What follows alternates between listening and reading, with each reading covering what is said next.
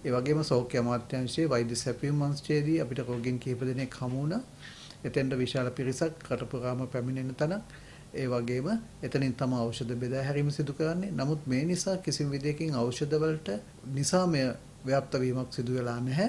අපි ඒ වගේම මේ පරීක්ෂා කිරීම තුළින් මෙතෙන්ට පැමිණෙන ආයතනයේ පැමිණෙන කටපුරාම පැමිණෙන අය පරීක්ෂා කිරීම තුළින් ඒ අයට රෝගය නැහැ කියලා මේ මේ වන විට රෝගීන් හමු වෙලා නැහැ අපිට.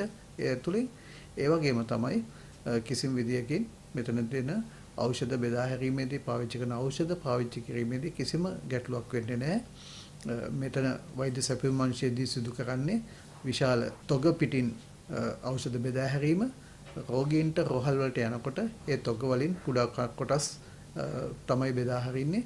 කිසිම විදියකින් ස්පර්ශය තුලින් වෛරසය පැතිරීමේ අවදානමක් මෙතන කිසිම විදියකින් ඇත්තේ නැහැ.